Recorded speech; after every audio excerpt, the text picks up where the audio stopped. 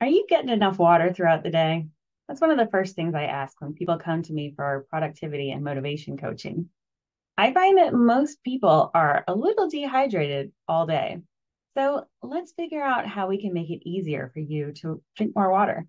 One of the ways is to remove any behavioral friction. These are things that make it just a little bit harder or uncomfortable to do something that in the end means you're not drinking enough water. For me, I use this guy and I need a huge bottle so that I don't have to refill it during the day.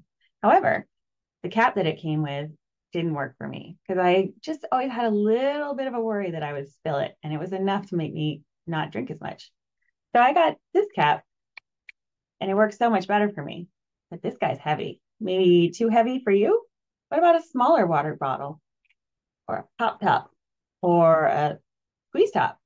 Or maybe you just need to make it a little more fun. Take today and think about where there's a little bit of friction that's keeping you from drinking enough water.